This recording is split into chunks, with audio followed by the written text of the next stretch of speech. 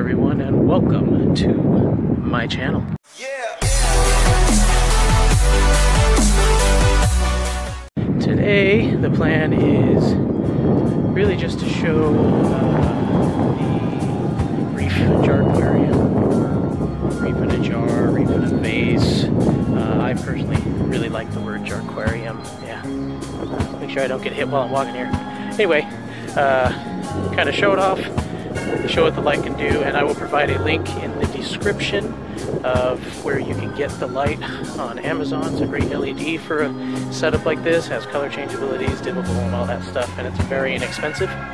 Um, and then at the end, give a bit of a breakdown on basically the items that you're going to need and a quick uh, description on the setup.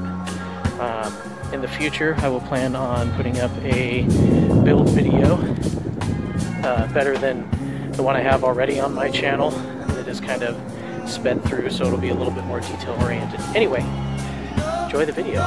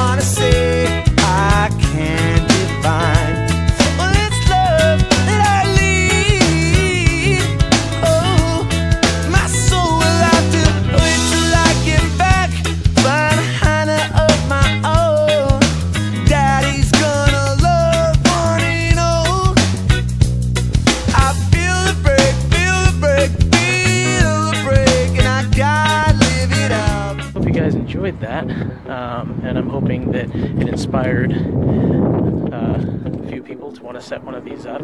They're very simple, low maintenance thing to set up. You're basically only going to need a few ingredients. You're going to need the jar, which can be picked up at Michael's or Hobby Lobby for anywhere between four to eight dollars. You're also going to need a piece of cured live rock about the size of your fist because that's what will fit in that jar pretty much like edge to edge or a little smaller of your choice. Just test fit it, make sure it fits or have an idea of what you're looking for. So you'll need a jar, a live rock, a couple coral frags, or if you want to be fancy, go buy a rock that already has corals on it. Um, but the key is to make sure it's cured because that is instantly going to cycle it for you.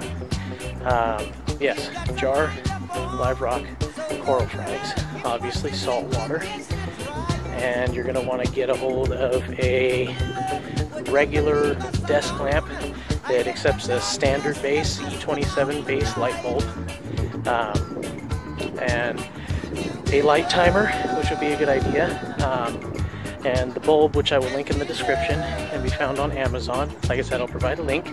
Um, it's very inexpensive, has the color changeabilities, it's dimmable, but more than anything, it has the memory function. So whatever color you set it to, once it's on a timer and it turns off, turns back on again, it's going to resume the same color. It's not going to default back to red or some other goofy color or start flashing or anything like that. Also going to need a small air pump with a check valve. Well, you don't need it, but I'd recommend it in case power cuts out or anything. You don't want anything back siphoning into your uh, air pump. So air pump, check valve, and a regulator I would also recommend so you can fine tune your bubbles for the flow you want. So sum it all up. Jar, rock, coral frags, water, lamp, LED, air pump, air stone, check valve, and the regulator valve. So these can be done pretty inexpensively. And um, yeah, super low maintenance. I change the water in mine probably, I don't know, 50% once a month or so, every few weeks. Sometimes I'll do a little bit more. Um, and oh, macroalgae. Feel free to add macroalgae in there. Uh, disclaimer, if you add a hermit crab, which is optional, they do like to snack on the macroalgae from time to time. I find caulerpa, they won't snack on as much. We'll eat some of it, but it will come back because it'll root itself into the rock and come back in little spurts, but that keeps them fed. Um, I also really like the red dragon's breath. That's gorgeous, looks awesome, works out really well and grows quick. In these setups anyway, I mean, how close it is to the light, it's doing real well.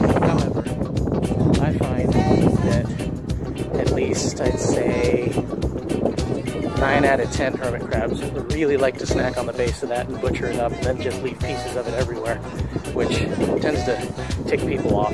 But, I mean, it's a closed system. Feeding it, what can you expect? You can also just do it without the hermit crab, um, which is fine. That's less bio-load, but I do find little bits of algae will pop up on the rock here and there. And the hermit, the benefits outweigh the cons, in my opinion, because mine stays super clean with that guy in there.